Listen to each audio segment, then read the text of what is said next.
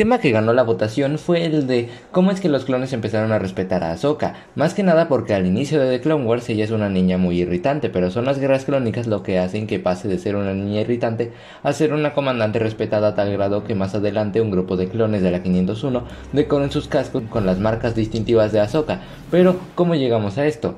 Bueno, poco antes de que se implementara la fase 2 de los clones, Ahsoka y un pequeño grupo de clones fueron enviados a una batalla muy devastadora en el planeta Senada, entre estos clones se encontraban el Capitán Rex.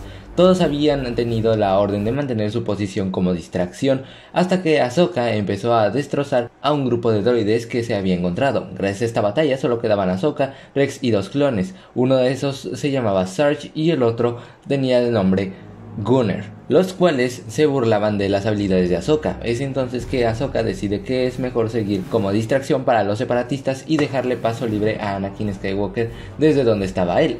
Entonces Ahsoka y sus tres soldados restantes empiezan a caminar por la jungla de Senada hasta que se encuentran con un felino del planeta. Ahsoka les dice que no disparen, pero este felino igualmente ataca. Gunner y Sarge empiezan a burlarse de Ahsoka, aunque en ese momento la tierra empieza a temblar y Ahsoka rápidamente avienta a sus hombres con la fuerza, salvándoles la vida de una estampida de unos animales del planeta.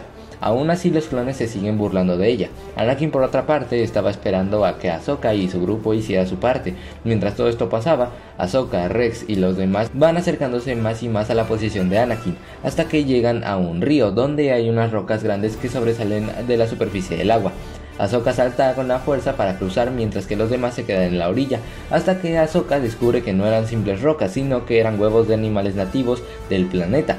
Cuando se rompe el cascarón de uno alerta a la madre de que algo estaba mal, así que sale y empieza a perseguir a Ahsoka. Ahsoka ve su oportunidad de guiar a la bestia hasta salir del río, donde corre hasta donde estaban los droides separatistas y entonces la bestia los destruye a todos. Anakin sigue con su operación orgulloso de su aprendiz, mientras que Rex le pregunta a Gunner y Sarge qué pensaban de Ahsoka, y ellos responden que para ellos ya no era una Padawan, sino que era un caballero Jedi.